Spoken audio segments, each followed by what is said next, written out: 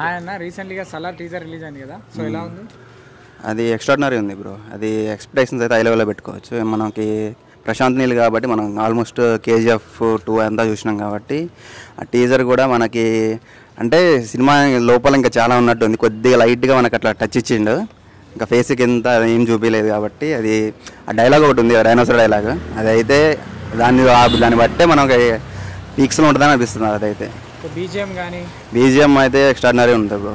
అసలుకి అంటే ప్రభాస్ని last three movies మనకు కొంచెం లైట్గా అట్లా డిసప్పాయింట్ లెక్క ఉంది కానీ ఈ మూవీస్ అయితే ప్రభాస్ కట్అవుట్ని ప్రశాంత్ అయితే కరెక్ట్గా యూజ్ చేస్తారు అనిపిస్తుంది నాకైతే. ఈ మూవీస్ అయితే ఈ మూవీ అయితే సలార్ అయితే ఒక రేంజ్ ఇండియా ఆల్మోస్ట్ ఇక హాలీవుడ్ లెవెల్ తీస్తాను టేకింగ్ అయితే దీనికి కనెక్షన్ ఉందంటారు మరి టీజర్ అంటే మనకి అట్లా ప్రశాంత్ నీల్ అంటేనే మనకు షాడో లాగా అట్లా మనకి డార్క్ షాడో లాగా వస్తుంటుంది కదా.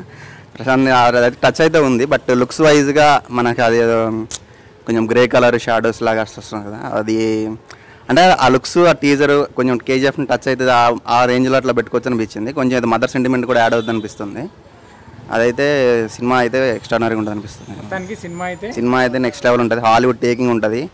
అసలుకి ఇప్పటివరకు లాస్ట్ త్రీ మూవీస్ మనకి ఎంత డిసప్పాయింట్ అయిందో ఈ మూవీస్కి దానికి ట్రిపుల్ డబల్ ఉంటుంది. అసలుకి ఇక పండగ అనమాట ఇక అంత రేంజ్ ఉంటుంది.